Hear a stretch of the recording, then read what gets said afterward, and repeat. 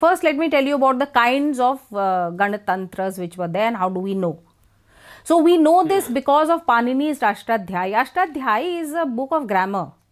So, we should not ideally know anything else except grammar from that book, but Panini has given such wonderful, uh, all embracing examples from all parts of society, culture, and polity that you get to know a lot about all these things. So, he tells us how these Gan Tantras were managed. So, this, there was a Gan that means the collection of people. This collection of people consisted of everyone. So that whole thing, whenever you study or think of anything Indian, what comes up? Caste. What comes up? Varna and Jati, as we have already discussed. So people yeah. from all Varna and Jatis belonged to this Gan.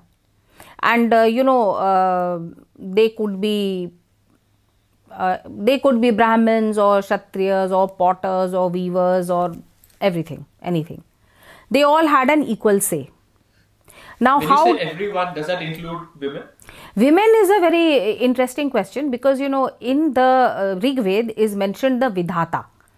The Vidatha is a okay. collection of people or a place where people from the entire Gan spoke and decided was to be what was to be done in that community in that clan and it is very clear not just from the Rig Ved but from the other Vedic uh, other mentions in the Vedic corpus that women were uh, welcome in the Vidatha and they used to speak their mind in it. However, in another place there are actual descriptions of voting. Where there are actual descriptions of voting over there for me the jury is out. And i think more research is necessary to know whether women voted. That they spoke that they were there, they had a presence? Unequivocally, yes. Did they vote? Hmm. I am not sure. Okay, we don't know yet. We don't know. Okay. Yeah. Maybe, you know, uh, as uh, I said, I mean, people who are uh, not blinkered by many things have to read a lot of these compositions again to arrive at some conclusion. So anyway, to get back to the way in which uh, these uh, Ganas operated. So there were two, three ways in which they operated. One was that they all got together and elected a king. They elected a king who they thought would be good for their security administration to, take care of everything. The king had to be an exceptional person who could not only, he had to be strong, he had to be noble, he had to be, uh, you know, kind of uh, thinking about the welfare of others, then only would that would everyone vote for him. So this was, uh, as I said, electing the king was mentioned uh, in the Rig Ved also. So this is one method. The second method is for everyone to get together and elect a sabha and a samiti. Sabha consisted of those people who were aristocrats from big good families and rich people.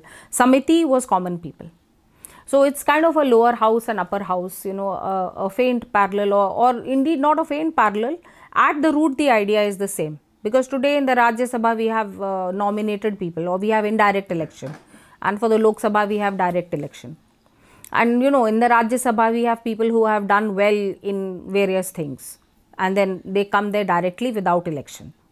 So Sabha and Samiti used to give direction to the clan and this Sabha and Samiti were elected.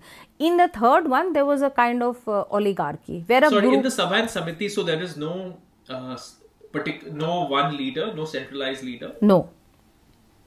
That's the, a very interesting system. Yes, but I will tell you how uh, it worked, how this Sabha and Samiti worked. We'll just uh, talk about it.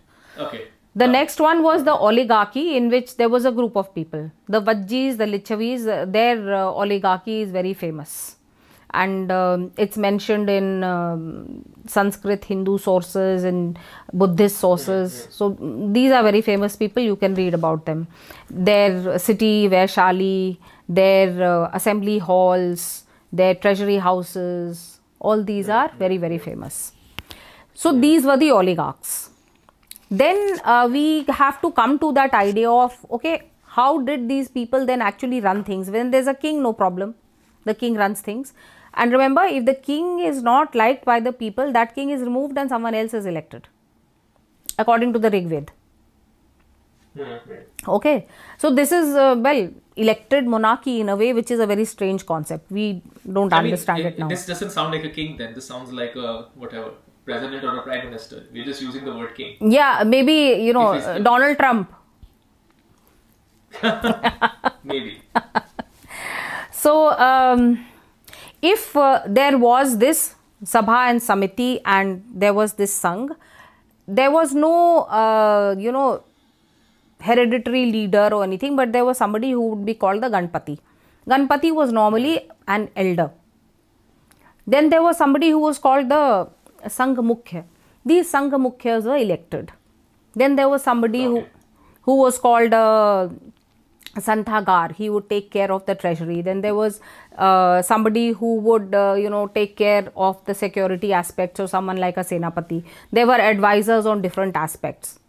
And these were elected. How do we know that they are elected? Because Panini, while giving grammatical examples, explains the whole method of election. So they used small uh, wooden chips or uh, wooden pieces, which were called chalakas, for voting. And there was one person who was entrusted with counting them. He was called the Salaka Gahapati. So he was the election commissioner, chief election commissioner of the day. He used to count the votes. There were also, like in any group, there were political parties because you know people can never agree. They always have different opinions, Yeah. and people coalesce around different opinions. so there were also these uh, political parties, and uh, this is how the Ganasangh actually managed its affairs. Uh, I've been talking about the Lichavis. These were the preeminent power in terms of the Ganatantras. And there was also a confederacy of many of these Ganatantras, which was called the Vajji Confederacy. The Lichavis were the leading confederacy or the leading Gansang in that. They were a very strong power in the Mahajanpad period, around the 8th to the 5th or uh, yeah, 8th to the 5th century before the Common Era. So again, remember, we are talking of times before Pericles. We are talking of times even before Solon. I had spoke people sometimes speak of Solon in the seventh century. Although that's really wishful thinking and that is really talking up Solon. I don't see any evidence of Solon being a Democrat. And you know, in fact, even Pericles has been condemned by Thucydides for being a dictator, a monarch, a, a autocrat, and just doing what he wants to. So Pericles himself is a bit dicey, and Solon is more than dicey. Watch the full episode on the Vak Indian History YouTube channel and podcast.